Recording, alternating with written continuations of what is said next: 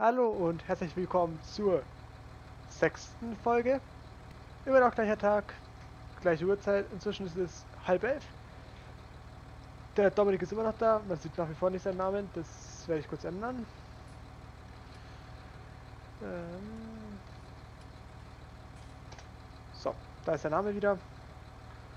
Wir waren in der letzten Folge dabei. Ähm, ich habe in der letzten Folge irgendwas gemacht. Ähm, genau, ich wollte es ansehen, genau. Ähm, du wolltest den Trash abtanken und ich wollte... Ich bin schon dabei. Und ich wollte irgendwas besorgen. Das, genau, ich wollte eine Ballenpresse mieten. Und ich wollte vor allem... Ein Wasserfass wollte ich kaufen, genau, das war's. Ja, ja. So. Einmal kurz nochmal warten. Ich muss noch kurz was machen.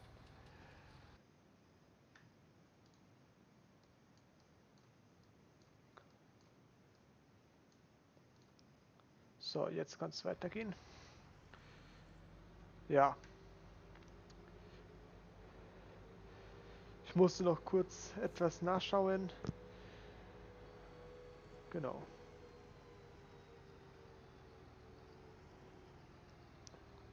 So. Dann kaufen wir mal schnell ein Wasserfäschchen. Tierhaltung. Nachdem wir auch Kühe haben, würde ich sagen, wir kaufen das hier gleich.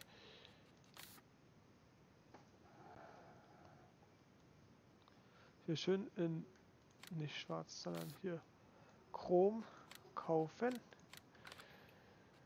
Und zum Ballen auflösen nehmen wir den hier. Oder nee, dann nehmen wir den hier, der ist besser.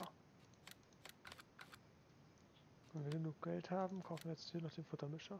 Das wird nichts. Das heißt, wir müssen Bein machen zum Futtermischen. Erstmal. Und halt dann schaufeln. Aber erstmal Wasser, damit schon mal ein bisschen was bei den Tierchen drin ist. Und dann wird das schon.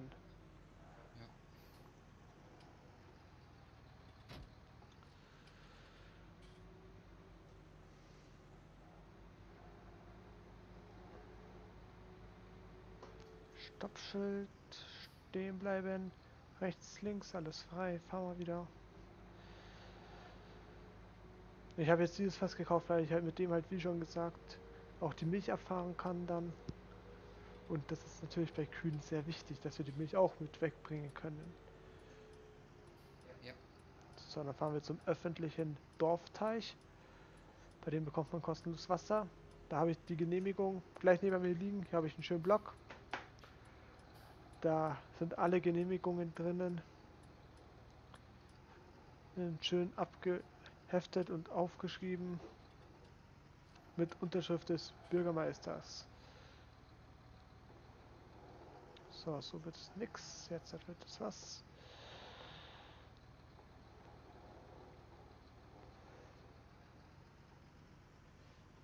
So wird es auch nichts. Kurz warten. Jetzt wird es was.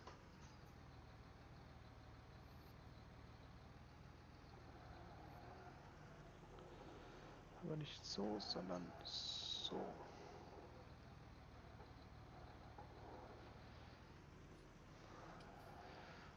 So, schön reingefahren.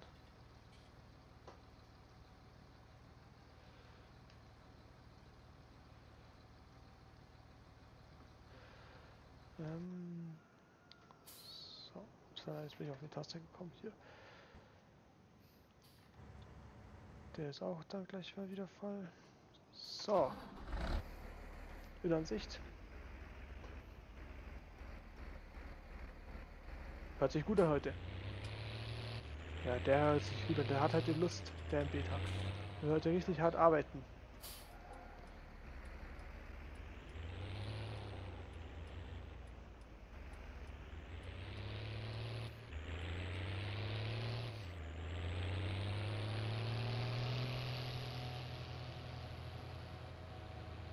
Mit dem kann man sich auch locker vorbeiziehen.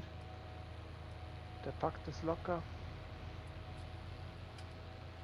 Der hat so viel Leistung. Biegen wir hier gleich ab. So. Dann ziehen wir vor dem noch hier rein. So, wunderbar. Uh, da ist ein Gabelstapler. So. Rückwärts angedockt. Dann müssen wir einmal kurz ein bisschen Saatgut kaufen.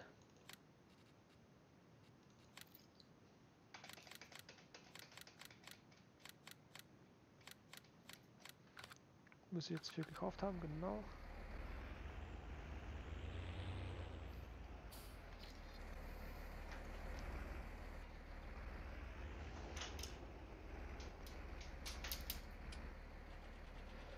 Ja, trinken ist auch immer ganz wichtig. Ich habe immer hier was zum Trinken da.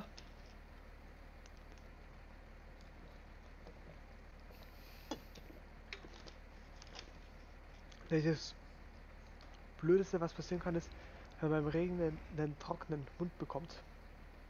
Dann war's, dann war's das ganz schnell mit dem Reden.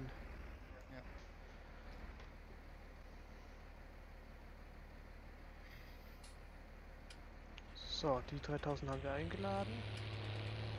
Dann stechen wir noch einmal schnell so rückwärts hier.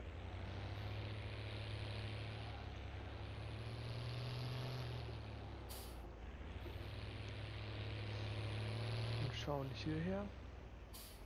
Hier ist dann noch mal ein bisschen was Saatgut.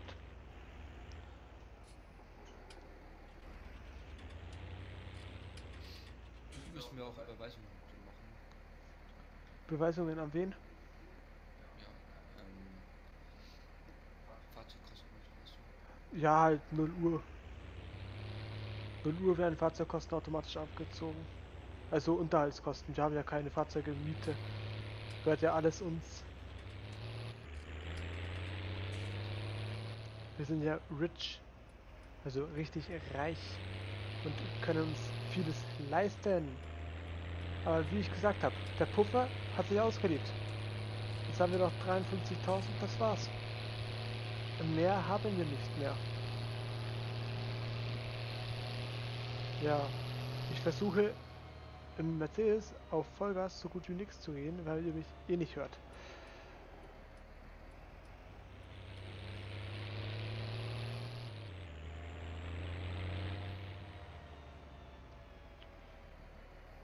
Das Feld 19 war zu 100% gedüngt, gell?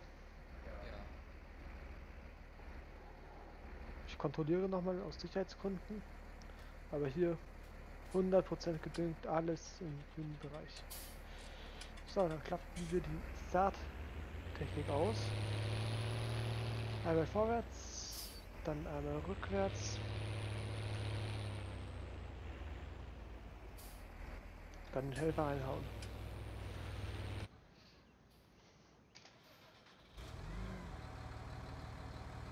So, schauen wir mal, ob wir das Fass hier noch rausbekommen. Ja, natürlich.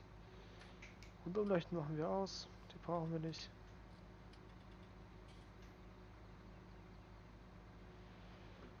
So. Schön gemütlich rausziehen.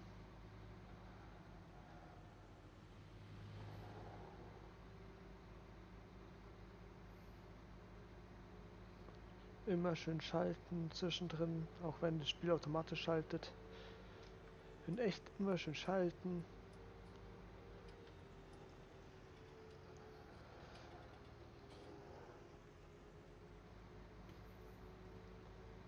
Genau, hier kann man jetzt auch Saatgut und Dünger und so kaufen, wenn wir am Shop nichts mehr hätten.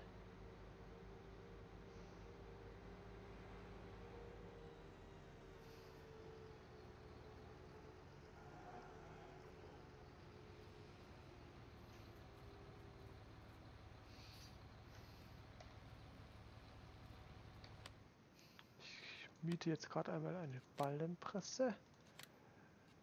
Mieten. Und einen Quaderbeinsammler. Mieten.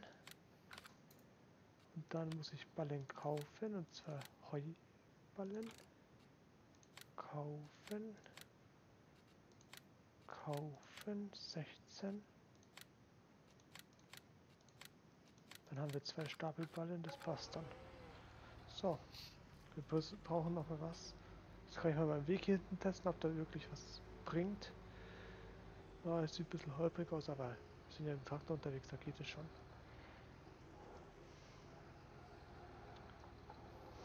So eine kleine Abkürzung zu den Feldern kann man hier hinten schon hochfahren.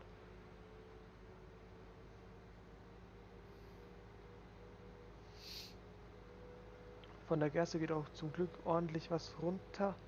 Der Rascher ist natürlich schon wieder voll und ja, da geht schon ordentlich was. Also überall diese Stoppzeichen, da muss man immer die Handbremse reinhauen. So, stehen geblieben bin ich. Muss sich vortasten. Abbiegen.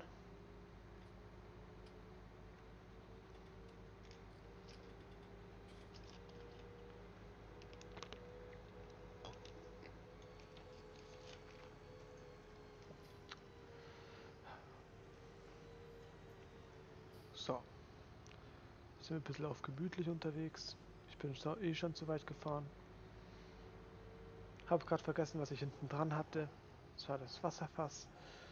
Weil ich Wasser ja hier bekomme und nicht am Shop. Das soll auch passieren.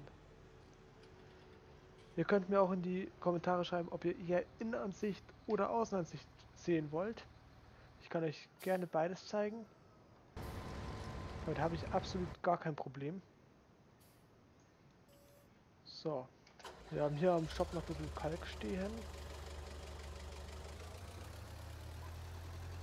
Weil nachdem wir jetzt halt diesen anderen Heini haben, brauchen wir den Gabelstapler fast gar nicht mehr. Wenn ich die Kalk gleichzeitig laden, wie es immer es äh, geht, einfach so rein sauen lassen, dann geht der wieder weg. Weil der kostet nur unnötig Geld. Das haben wir nicht. Hier, 32. Das habe ich ihn repariert. Jetzt habe ich Horsti repariert. Jetzt bringt er hoffentlich ein bisschen mehr. Ich habe nicht drauf geachtet. Ja, hat uns 4 Euro gekostet. Ist jetzt nicht die Welt.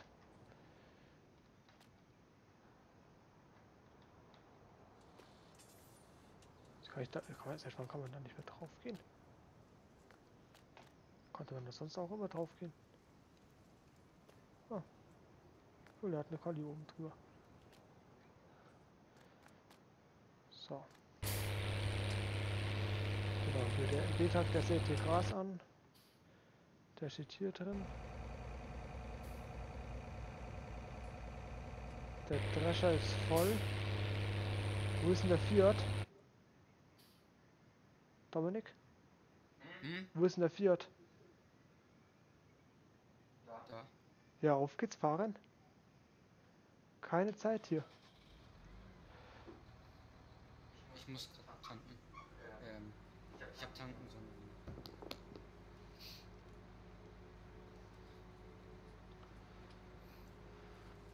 Ähm, du siehst da gleich so einen kleinen Weg hoch. Den kannst du hernehmen, gell? Ich sehe den schon, ja. Ja, schau mal, ob da der Fiat hochkommt. Ansonsten komme ich schnell und schiebe.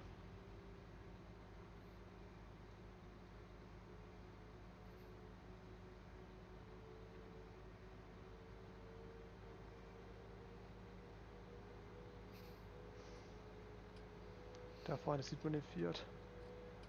Ah, das kann sich gerade zum Licht ausgehen oder gerade so ausgehen. Naja. Der Fiat ist ein Kraftpaket. Der ist nur klein. Man kann halt von der Leistung her mit der neuen Technik leider nicht mehr mithalten, aber sonst der hat Power ohne Ende. Bekommen die Schafe noch was zum Trinken? Schauen wir mal kurz nach. Ja, das passt. Ja, das reicht die locker. Sind dann gleich voll. Ja, den Rest gibt man hier rein und dann passt es auch.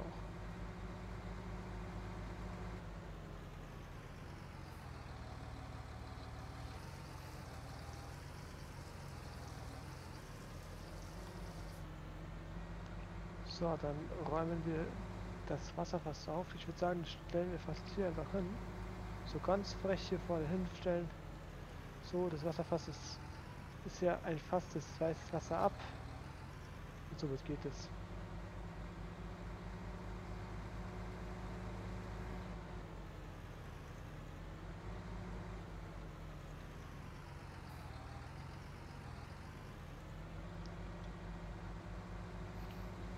So, was will ich machen? Genau.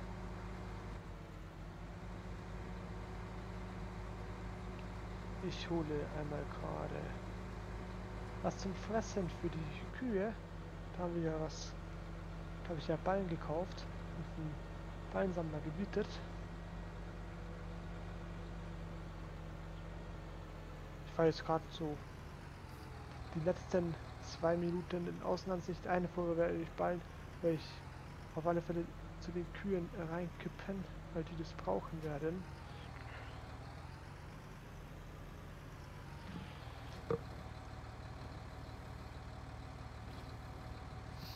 Ob die vor der zweiten Folge noch was brauchen, weiß ich nicht, aber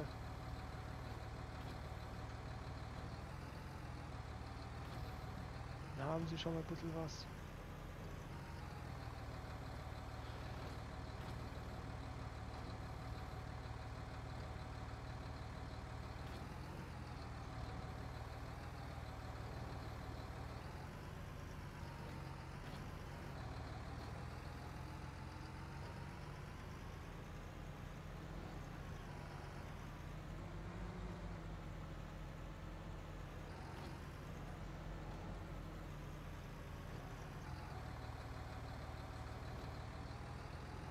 So.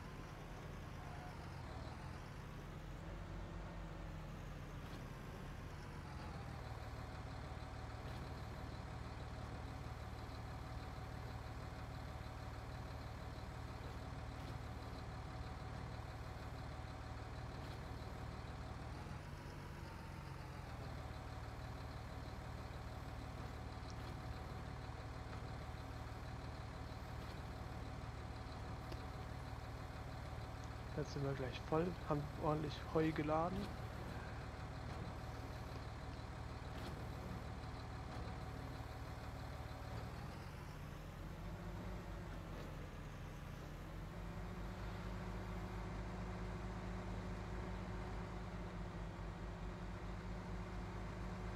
Und dann düsen wir zurück zum Hof.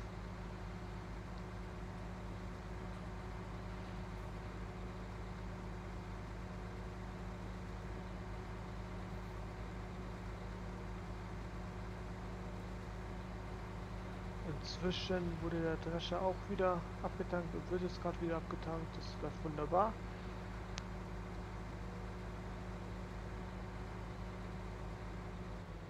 Ja, auf den Dominik, der ist Verlass und das passt und ja.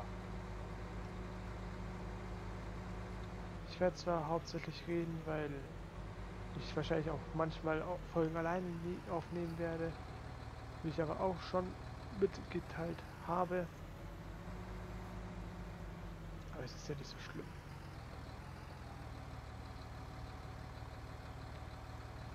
Ich hoffe jetzt mal, dass es nicht allzu viel ist.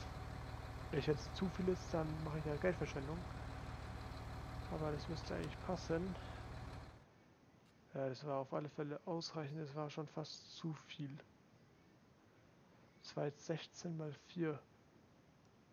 Das ist auf alle Fälle zu viel, aber das passt schon. Dann bekommen jetzt die anderen, die bekommen nicht annähernd so viel. Ah, da komme ich gar nicht mehr raus. So rum, das könnte sich gerade so ausgehen. Nee. Das ist jetzt hier schon zu viel. Das wollte ich eigentlich vermeiden. Kompletten Unterboden aufgekratzt.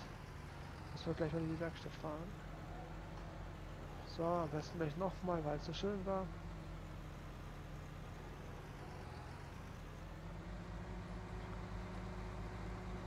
So, dann drehen wir da wieder lang. Aber da hinten den Weg runter, der ist ja wunderbar. Der ist ja wunderbar. Ich hasse den Verkehr hier. Die schauen nicht voraussichtlich. In der Fahrschule lernt man, soll voraussichtlich fahren. Und ich bin, ich fahre ja auf die Straße. Der muss ja nicht abbiegen, wenn ich da komme, oder? Ich lerne schon auf der äh, Fahrschule mit 18. Dass Landmaschinen halt ein bisschen breiter sind als normale Autos. Auch noch mit Lichterjahren, damit es alle hören. Damit der nächste Depp wieder nicht uns zusammenfährt. So. Ich weiß, da ist ein Stoppschild, aber Zeit, Zeit, Zeit, die haben wir leider nicht mehr.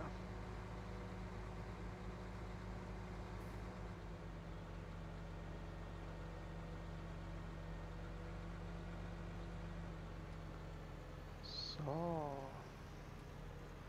Das wird ja langsam immer besser hier. Aber ich würde sagen, das war's schon wieder. Wenn es euch gefallen hat, gebt mir einen Daumen nach oben. Ich freue mich aufs nächste Mal und ich sag ciao und reingehauen. Ciao.